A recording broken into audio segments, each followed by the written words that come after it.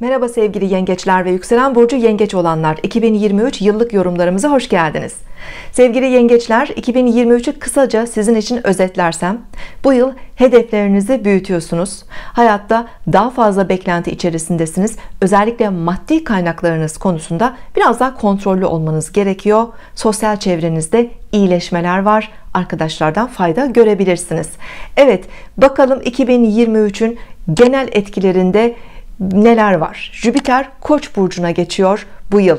Geçtiğimiz yılda aslında Jüpiter Koç burcundaydı. Mayıs ile Haziran arasında. Ama bu yıl artık kalıcı bir şekilde hızlı bir şekilde 16 Mayıs'a kadar Jüpiter Koç burcunda olacak. Önce bir burçta olacak. Ve sizin için geleceğe dair hedeflerinizi büyütebilecek bir alanda olacak. Kariyerinize daha umutla bakıyorsunuz. Tabii ki fırsatlar var. Çalıştığınız işte ilerleme imkanları işte üstleriniz tarafından desteklenme e, imkanları başarı imkanları var. Özellikle Mart ve Nisan ayını bu anlamda önemsiyorum. Burada gerek Venüs'ün Jüpiter'le birleşeceği Mart ayının ilk dönemi ve Nisan'da meydana gelecek Koç burcundaki yine Jüpiter etkili tutulma kariyerinizde önemli bir başarı getirebilir. Ancak ancak daha öncesinde gereken çalışmaları yaptıysanız özellikle Mayıs'ta Ekim arasında e, iş konularında e, bir hani hedefinize odaklandıysanız ve size verilmiş bazı fırsatları burada doğru değerlendirip emek harcadıysanız çaba gösterdiyseniz evet bu yıl Mart Nisan döneminde bu başarıyı elde edebilirsiniz. İşte bir terfi olabilir bu yani belki bir atama olabilir bir maddi anlamda bir kazanç gelişme fırsatı olabilir. Bunları e, bekleyebilirsiniz. Özellikle aile büyükleri bakımından da iyi bir dönem. Hani aileyle ilgili bazı zorluklarınız varsa bu yıl e, bunların da iyileşme fırsatları ebeveynlerle ilgili keyifli gelişmelerin olması mümkün görünüyor. Ve aile olmak evlenmek yuva kurmak e, isteyen sevgili yengeçler 2023 bu anlamda da sizi destekleyecek. Özellikle bahar dönemlerinde Mart Nisan döneminde ve sonbahar Eylül Ekim döneminde e, ev yuva alanlarında bu bir emlak almak olabilir taşınmak olabilir. Evet gerçekten yuva kurmak evlenmek olabilir. e, ya da e, size ait mülklerin gayrimenkul toprak ve benzeri alanların hani satışı kiralanması ve benzeri gibi beklentileriniz olabilir. Bu anlamda da önemli fırsatların çıkabileceği süreçler. Geçtiğimiz yıl olduğu gibi boğa akrep aksındaki tutulmalar bu yılda devam ediyor. Ancak bu yıl boğa akrep ile beraber artık ay düğümlerinin koç teraziye geçmesiyle beraber tutulmalar da koç terazi aksına kaymaya başlayacak. Yani sizin için gerçekten bu yıl geçtiğimiz yıl yaptığınız çalışmaların karşılığını alabileceğiniz ve önümüzdeki yılda devam edecek şekilde kariyerinizde büyüyebileceğiniz bir yıl. Gelecekle ilgili iş ve sorumluluklar alanında toplum önündeki otoriteniz işte toplumdaki duruşunuz statünüz yaşadığınız yer yuva alanları mekanlar ev alanları aile konuları hani buralarda e, yapılandırmalar içerisinde olabileceğiniz önemli bir dönem 2023 yılı. Jüpiter 16 Mayıs'a kadar Koç burcunda olacak 16 e, Mayıs'tan itibaren Boğa burcuna geçecek. Ve 2024'ün Eylül'e kadar e, Jüpiter Boğa burcunda olacak. Jüpiter Boğa'da para konularında çok bereketlidir. Yani sahip olduğumuz kaynakların e, büyümesi anlamında bizim için daha faydalı daha bereketli olması anlamında Jüpiter çok iyidir ve sizin de gerçekten para alanınızı etkiliyor. 11. evinize gelecek. Burası işten kariyerden gelecek kaynaklardır. Ya da işte sahip olduğunuz ailenize ait olan maddi kaynaklardır. Bir büyüme ve gelişme imkanı bulabiliriz. Dolayısıyla bir evin bir mülkün satılması ya da aileye ait bazı değerlerin dönüştürülmesi aileden destek almak kendi işinizi kurmanız yatırımlar yapmanız ya da çalıştığınız işten para kazanmanız kazançlarınızın artması gibi alanlarda. Jüpiter'in 16 Mayıs'tan itibaren sizin için çok daha faydalı çok daha geliştirici büyütücü bir alanda olduğunu söyleyebilirim. Uranüs bu alanda biliyorsunuz zaman zaman tutulmaların da tesiriyle e, geçtiğimiz yılda bazı sürprizler getirdi hayatımıza fırsatlar getirdi. Şimdi o değerlendirdiğimiz fırsatlar Jüpiter sayesinde büyüyecek yani verimli tohumlar daha bereketli bir şekilde büyüyecek tarladan daha fazla verim alacağız. Ya da işte ağacımızın meyvesi iyi olacak. Ama verimsiz tohumlar hani tembellik yapıp boş verdiyseniz tabii ki bu Jüpiter biraz size keyif getirir eğlence getirir. İşte arkadaşlardan falan böyle mutluluk alabilirsiniz. İşte onlarla keyifli eğlenceli ortamlara katılabilirsiniz. Sanatsal kültürel bazı fırsatlar olabilir etkinlikler olabilir tatiller olabilir. Ee, ama bu alanda da sizi destekleyebilir. Hani eğlenceli keyifli arkadaşlıklar sosyal yaşam e, anlamında. Ama eğer çalışıp çabaladıysanız ve elinizdeki imkanları daha uzun vadeli değerlendirmek için olumlu adımlar attıysanız gerçekten Jüpiter burada maddi manevi büyüme imkanlarını getirecektir size. Bu yıl jenerasyon gezegenimiz e, Plüto Oğlak Burcu'ndan ayrılacak ve 23 Mart'ta Kova Burcu'na geçecek. Bu tüm dünya için, toplumlar için önemli bir geçiş. 284 yılda bir burç değiştirdiği için Kova burcuna geldiği için dolayısıyla bu e, önümüzdeki 20 yılı önemli ölçüde etkileyecek. 2044'e kadar Plüto Kova burcunda olacak. Bu yıl 0 derecede 11 Haziran'a kadar e, ilk temasını yapacak. 11 Haziran'dan sonra tekrar bir Oğlak Burcu'nun son derecelerine dönecek. 2024'ün ocağından itibaren ise artık 20 yıllık yolculuğuna 2044'e kadar başlayacak. Tabi ilk geçişlerinde önemlidir çünkü ağır bir gezegen kolektif etkileri var. Ee, özellikle bu ilk temasla beraber 11 Haziran'a kadar bazı önemli tesirlerle karşılaşabiliriz. Ve özellikle de Mayıs ayını önemsiyorum çünkü e, Boğa burcundaki Jüpiter'le kare açı yapacak Ardından Mars da bunlara katılacak. Aslan burcundaki Mars. Dolayısıyla 16 Mayıs ile 25 Mayıs arası özellikle sabit burçların sıfır derecelerinde Plüto, Jüpiter, Mars etkisini göreceğiz. Bu çok e, baskı yaratan güçlü bir etkidir. Plüto güç gezegeni zaten. Yani Plüto burç değiştirince güç değişiyor. Oğlaktan Kova burcuna doğru geçecek.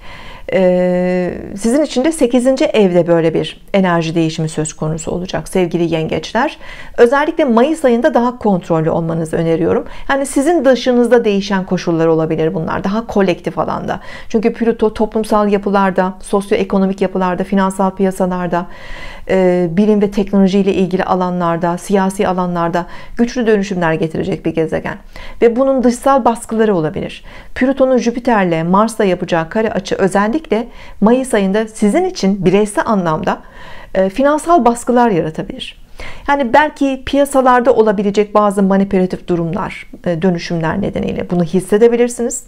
Yani mutlaka hissedeceksiniz demiyorum, hissedebilirsiniz. Ee, bu nedenle çok e, hırslı davranmamak, işte manipülasyona dikkat etmek, kaynaklarımızı iyi korumak, böyle e, isterseniz biraz açgözlü ve hırslı bir yapı verebilir Plüto Jüpiter kontakları. Büyüme fırsatlarıyla da karşılaştırabilir sizi. Yani böyle büyük bir güç bir anda hani maddi anlamda söz konusu olabilir. Bir belki iş ya da parayla ilgili bir fırsat çıkarabilir ama bunlara çok hırslı ve tutkulu yaklaşırsak e, manipülatif durumlar da oluşabilir. O yüzden dengeli olmak, sağduyulu olmak, sağlıklı bir bakışta olmak gerekiyor. Aşırı hırs ve tutkulardan uzak durmak gerekiyor. Özellikle para konularında sevgili yengeçler Mayıs ayını bu anlamda önemsiyorum ve sizi de bu anlamda uyarmak istiyorum.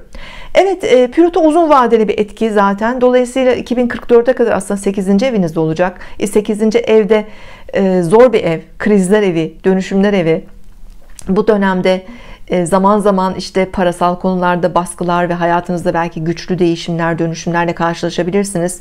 Tabii büyük güçlenmeler de olabilir burada.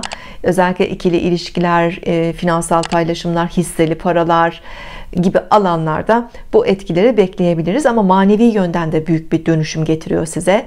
Özellikle okült konular olsun Plüton'un çünkü bu derinleşme imkanları ruhsal derinleşme ve özellikle yaşamın daha maneviyatı biraz da okült ve mistik konularda önemli bir dönüşüm derinleşme bilgilenme güçlenme imkanı da size tabii ki bu süreçte sunabilir.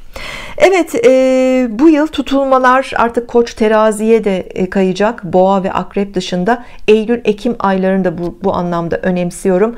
Ekim ayında Boğa burcundaki ay tutulması ardından terazi burcundaki güneş tutulması olacak. Bu dönemde bir yatırım için sizi destekliyor aslında.